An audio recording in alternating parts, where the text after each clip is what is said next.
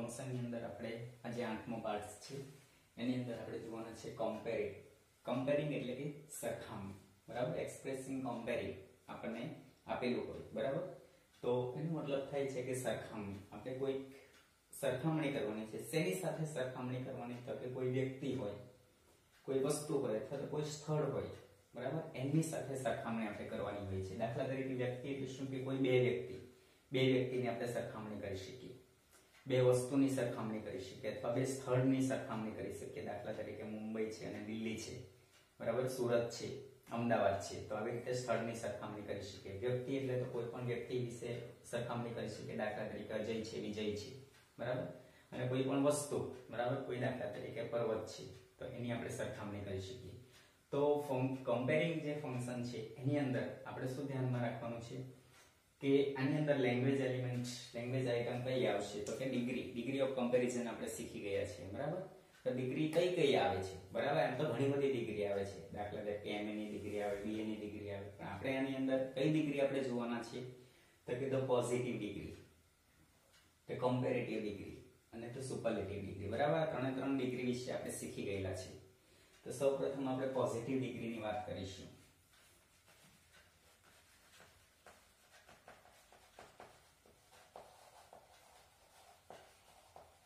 તો positive degree છે, એની અંદર શું આવશે? તો કે આની અંદર આવશે એઝ પછી અહીંયા આવશે એડજેક્ટિવ અને પછી આવશે એઝ બરાબર? પોઝિટિવ ડિગ્રી એટલે શું છે કે સમાનતા દર્શક તુલના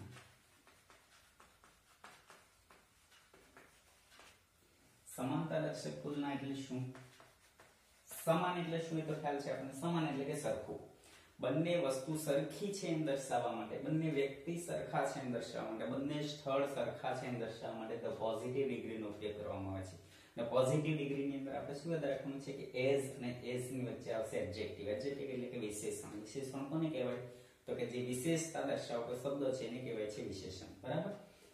તો સૌપ્રથમ પોઝિટિવ ડિગ્રી છે એની અંદર આપણે જોવાનું છે એઝ એડજેક્ટિવ અને એઝ દાખલા તરીકે આપણે એક એક્ઝામ્પલ લખીએ. Ajay is. As tall. As Vijay બરાબર? Ajay is as tall as Vijay એટલે કે અજય વિજય ના જેટલો ઊંચો છે. ના જેટલો. બરાબર? એઝ એઝ આનો મતલબ શું થાય કે ના જેટલો. અથવા ના જેટલી. અથવા વસ્તુ હોય તો ના જેટલું. બરાબર? કે મતલબ કે સરખું છે. એમ દર્શાવવા માટે પોઝિટિવ ડિગ્રીનો ઉપયોગ કરવામાં આવે છે, બરાબર? બીજું આની અંદર આવે સોએસ સો એસ નકારની અંદર આવશે. બરાબર? તો શું થશે? Ajay is not so tall as Vijay. બરાબર? કે અજય વિજય ના કરતા વધારે ઊંચો નથી. વધારે ઊંચો નથી એટલે એનો મતલબ શું થાય? કે સરખી ઊંચાઈના છે. બરાબર? બીજી રીતે પોઝિટિવ ડિગ્રીનું એક વાક્ય આપણે લખી શકીએ. બરાબર? કે દાખલા તરીકે આપણે અજયની વાત કરીએ. No other boys are no other boys are so tall as Ajay બરાબર? આવી રીતે આપણે પોઝિટિવ ડિગ્રી છે. પોઝિટિવ ડિગ્રીની અંદર સેન્ટેન્સ આપણે લખી શકીએ. એઝ એઝ નો ઉપયોગ કરી શકીએ સો એઝ નો પણ ઉપયોગ કરી શકીએ.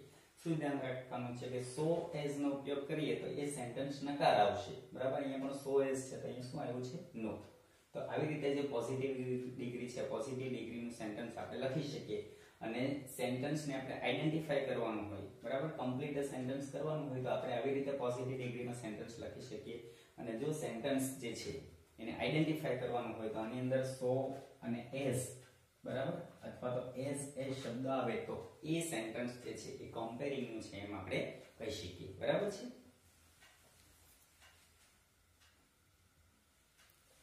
હવે સેકન્ડ નંબર છે, એની અંદર આપણે જોવાનું છે કોમ્પેરેટિવ ડિગ્રી તો કોમ્પેરેટિવ ડિગ્રી એટલે શું? અધિકતા દર્શક તુલના.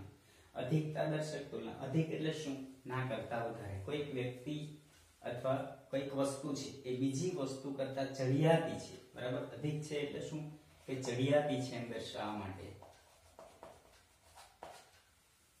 કોમ્પેરેટિવ ડિગ્રીનો ઉપયોગ થાય છે. બરાબર? કોમ્પેરેટિવ ડિગ્રી છે, એની અંદર આપણે કયો શબ્દ યાદ રાખવાનો છે? કે આની અંદર આવશે એડજેક્ટિવ એની સાથે આવશે ઈઆર ધેન ધેન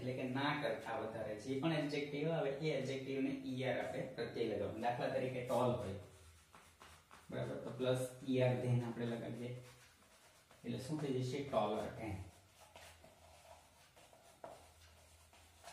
ના કરતા વધારે. બરાબર? દાખલા તરીકે આપણે અજય ને વિજયની જ વાત કરીએ. તો શું થશે? Ajay is taller than Vijay બરાબર taller than Vijay taller than એટલે કે ના કરતા વધારે ટોલ એટલે ઊંચો। કોણ વિજય કરતા? કોણ ઊંચું છે? અજય। બરાબર શું થશે કે અજય વિજય કરતા વધારે ઊંચો છે? બરાબર? બીજો આની અંદર આપણે એની અધર અથવા મેની અધર નો પણ ઉપયોગ કરી શકીએ.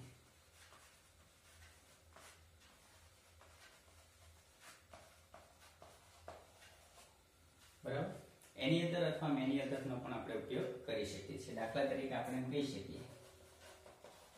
Ajay is taller than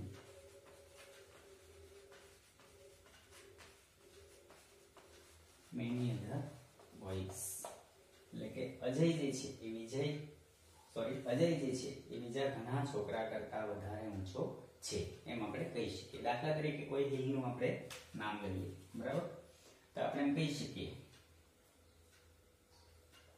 કે આબુ ઇઝ અથવા mount Abu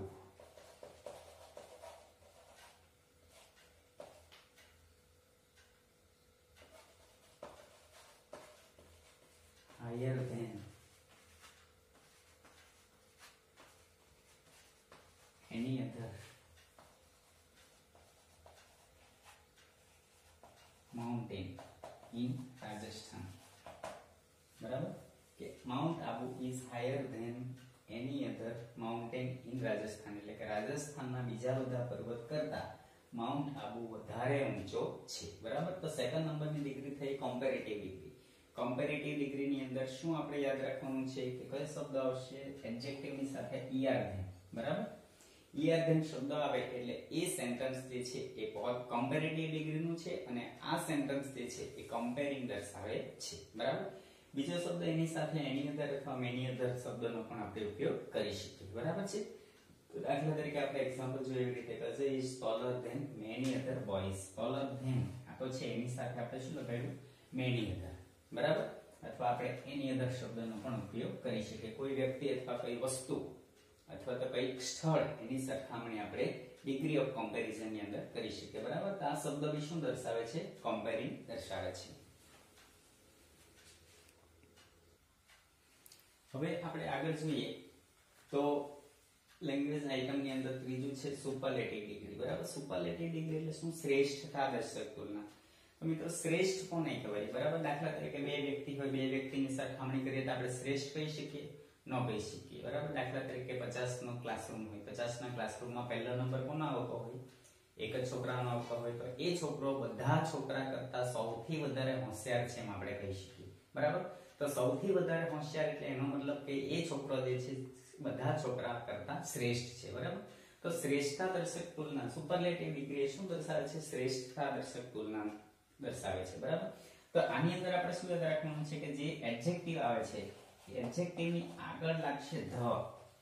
જે પણ એડજેક્ટિવ હશે, એ એડજેક્ટિવ ને ધ આગળ પ્રત્યે લાગશે અને એની પાછળ લાગશે ઈએસટી બરાબર?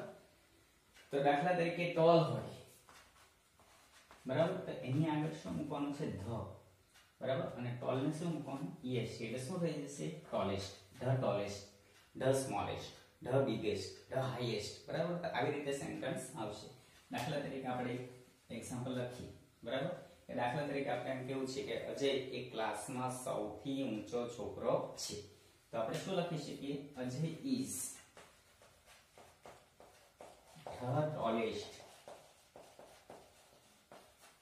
boy in our class બરાબર? કે અમારા વર્ગખંડમાં અજય જે છે એ સૌથી ઊંચો છોકરો છે. બરાબર?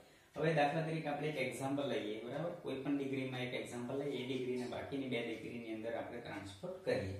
તો કઈ રીતે થશે? દાખલા તરીકે આપણે એમ લઈએ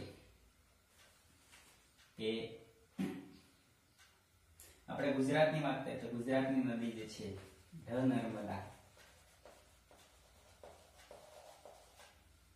ઈસ ઢ biggest river of Gujarat. શું છે? કે Narmada is the biggest river of Gujarat કે નર્મદા એ ગુજરાતની સૌથી મોટી નદી છે. બરાબર? ધ અને ઈએસટી આવે એટલે કઈ ડિગ્રીમાં સેન્ટેન્સ છે? સુપરલેટિવ ડિગ્રીમાં છે. બરાબર? દાખલા તરીકે આ સેન્ટેન્સ આપણે કોમ્પેરેટિવ ડિગ્રીમાં લખવું છે. આપણે કઈ રીતે લખી શકીએ? એ શા માટે આપણે કરીએ છીએ? તો કે સેન્ટેન્સ કમ્પ્લીટ કરવાના આવે છે. સેન્ટેન્સ કમ્પ્લીટ કરવામાં ત્રણમાંથી કોઈ પણ ડિગ્રીની અંદર આપણે સેન્ટેન્સ આપેલું હોય, એ સેન્ટેન્સ આપણે કમ્પ્લીટ કરવાનું હોય છે. બરાબર? તો આપણે જોઈએ કોમ્પેરેટિવ ડિગ્રીમાં કઈ આવશે? તો કોમ્પેરેટિવ ડિગ્રી આપણે જોયું તો એની અંદર આપણે શું કરવાનું છે કે ઈઆર ધ્યાન લાગશે. જે વિશેષણ છે વિશેષણની પાછળ શું લાગશે? ઈઆર ધ્યાન. એટલે ધ નીકળી જશે અને ઈએસટી નીકળી જશે. બરાબર? એટલે શું થઈ જશે? ધ બધા ઈસ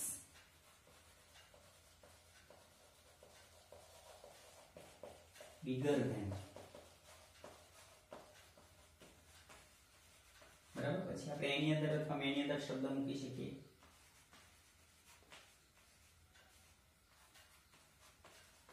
એની અંદર રિવર ઓફ ગુજરાત. નર્મદા જે છે ગુજરાતની બીજી બધી નદી કરતા વધારે મોટી છે. કોમ્પેરેટિવ ડિગ્રીમાં આપણે લખીએ તો કઈ રીતે લખી શકીએ? No other river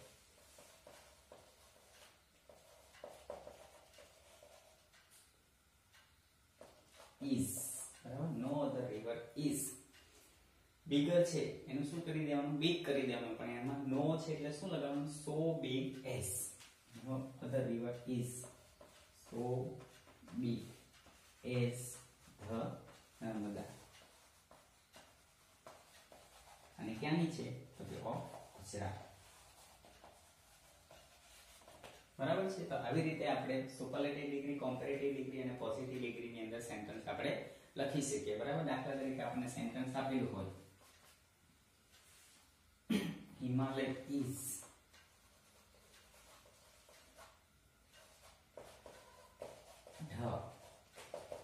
સેન્ટેન્સને આપણે કમ્પ્લીટ કરવાનું છે. બરાબર?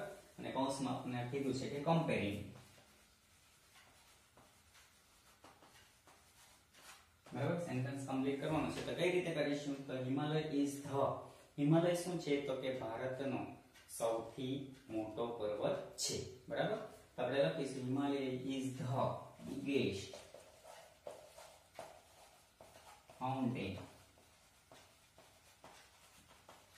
of India આવી રીતે આપણે ખૂબ સરળતાથી સેન્ટેન્સને કમ્પ્લીટ કરી શકીએ. બરાબર છે? તો ફંક્શન જે છે ફંક્શન કમ્પેરિંગ આપણને આપેલું હોય તો આની અંદર ત્રણ ડિગ્રી આવશે. પોઝિટિવ કોમ્પેરેટિવ અને સુપરલેટિવ ડિગ્રી તો પોઝિટિવ ડિગ્રી હોય તો આપણે કઈ રીતે યાદ રાખવાનું છે કે એની અંદર એઝ એઝ અથવા તો સો એઝ શબ્દ આવશે. કમ્પેરિંગ હોય તો જે એડજેક્ટિવ છે, વિશેષણ છે, એની પાછળ ઈઆર ધ્યાન આવશે. બરાબર? અને સુપરલેટિવ ડિગ્રીમાં સેન્ટેન્સ હોય તો વિશેષણ છે, એની આગળ ધ આવશે અને વિશેષણની પાછળ આવશે ઈએસટી બરાબર? તો આવી રીતે આપણે કમ્પેરિંગ ફંક્શન જે છે કમ્પેરિંગ ફંક્શન આપણે ખૂબ જ સરળતાથી ઓળખી શકીએ અને સેન્ટેન્સ પણ આપણે કમ્પ્લીટ કરી શકીએ. તો મિત્રો, આ ફંક્શનની અંદર બધાને ખ્યાલ આવી ગયો હશે.